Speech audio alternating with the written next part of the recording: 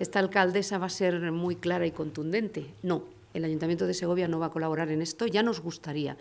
pero los recursos económicos municipales son eh, limitados, hay muchas necesidades de los ciudadanos de Segovia y de los servicios en los que sí que tenemos competencia y por poner un ejemplo claro,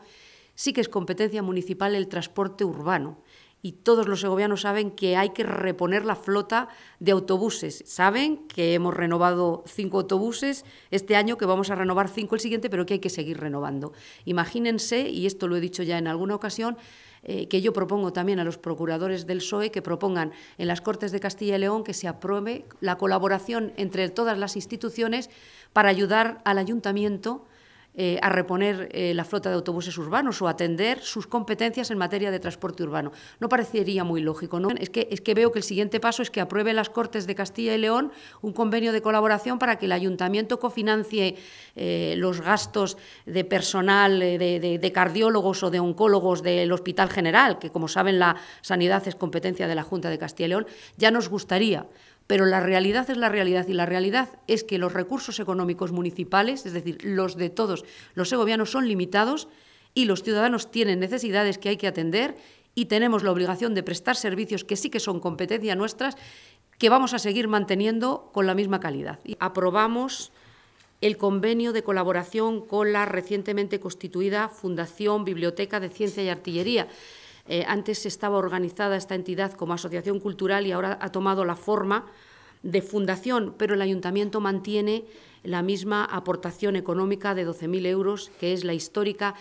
para las actividades de una institución cultural como es la Biblioteca de Ciencia y Artillería, de referencia a nivel nacional, que es seguramente la biblioteca de carácter científico y técnico más importante de nuestro país. A todos se nos ha llenado la boca mm, reconociendo el valor cultural y la importancia que tiene esta institución, pero yo siempre reclamo la coherencia. Si es tan importante, lo hay que demostrar con el respaldo económico. Y lo digo porque el Ayuntamiento ha mantenido íntegramente su aportación de 12.000 euros en tiempos difíciles, mientras la Junta de Castilla y León, que aportaba lo mismo no hace tanto, aporta cero euros, y la Diputación Provincial, que aportaba 12.000 euros también, aporta 3.000 euros. El juez considera que en esta parcela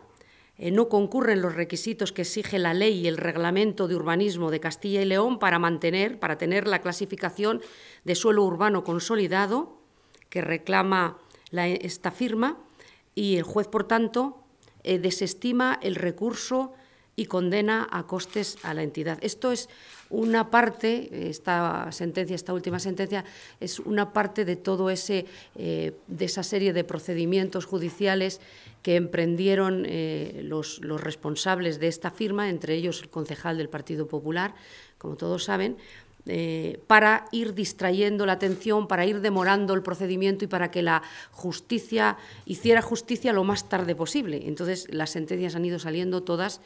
en contra de la de, la, de Ontanilla de Santo Domingo y esta es una más. Es una sentencia eh, que iba relacionada, no tengo aquí todos los detalles, eh, pero con la solicitud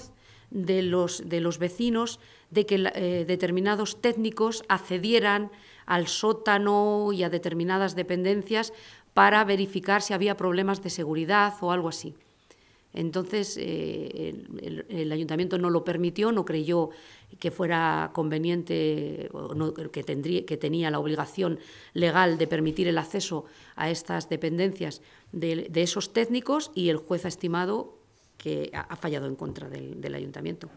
Entonces, esto, esto es, eh, es, un fallo, la sentencia es ya antigua, pero ahora lo que nos llega son las costas. El otro día había seis vehículos, no menos de seis vehículos de profesionales, sí, por la tarde, contados, ¿eh? envié a alguien a verlo. O sea, que, que, no lo digo a bulto, lo digo real. Envié a, alguien envié a alguien a verlo. Electricistas, gruistas, el jefe de obras, profesionales que están haciendo la valoración de seguridad en el trabajo, porque esto es imprescindible cuando una obra está paralizada un tiempo. Antes de meter allí a los operarios hay que revisar todo esto y están viendo todo. Están electricistas, están limpiando la zona y están ya desde la semana pasada y la semana que viene ya estarán como 10, 12 operarios trabajando allí. Nosotros eh, lo que hacemos es colaborar prestando la grúa municipal para que se retiren esos vehículos y lo que, lo que está pendiente es que el juez determine qué vehículos, de qué vehículos se levanta el precinto judicial, porque ya están en un grado de deterioro tal que no va a poder, allí no van a poder encontrar ningún indicio, ni huellas, ni nada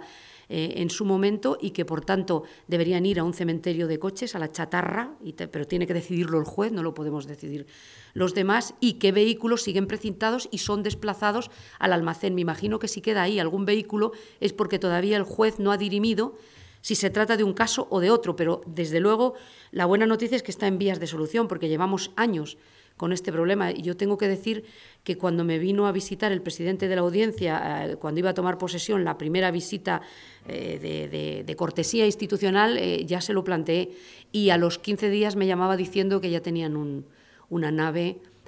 alquilada para este fin. Pero ahora depende del juez. Yo, mm, a ver, lo que quiero es que lo retiren cuanto antes, pero sí que estamos satisfechos en cuanto a que por fin hay una vía de solución y no que sigan ahí permaneciendo en un estado lamentable para los vecinos y con problemas de salubridad en algunos casos.